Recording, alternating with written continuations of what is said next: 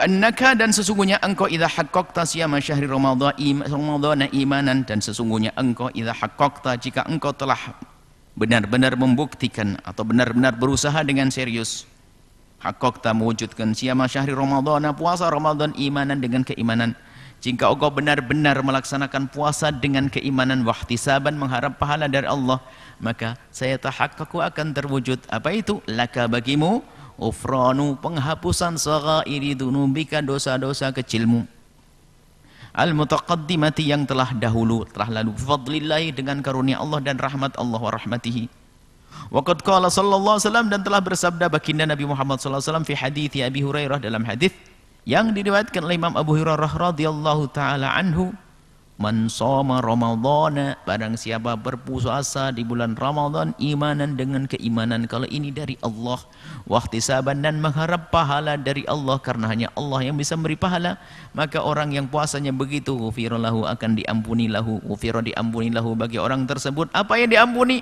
Mata qaddama yang telah lalu minta bihi dari dosanya. Rawahu syekhon. Waqad qala sallallahu alaihi wasallam dan baginda Nabi Muhammad telah bersabda as-salawatu salawat Salat, salat al-khamsuh, salat lima waktu. Dari salat ke salat. Wal jum'atu ilal jum'ati, salat Jumat menuju Jumat. Wa Ramadan ila Ramadan, bulan Ramadan ila Ramadan. Bagi yang merindukan Ramadan. Ramadan yang dulu kita keluar Ramadan, kita merindukan Ramadan. Ramadan keluar, kita merindukan Ramadan. Maka orang yang rindu Ramadan seperti dalam Ramadan. Maka buahnya apa? Mukaffiratun ma bainahunna akan menghapus dosa antara Ramadan dengan Ramadan. Antara Jumat dengan Jumat. Antara solat dengan solat. Subhanallah begitu mudah. Ada pengampunan Allah yang sifatnya sehari berkali-kali, solat dengan solat. Ada pengampunan Allah yang sifatnya seminggu sekali. Ada pengampunan setiap hari, pengampunan seminggu sekali.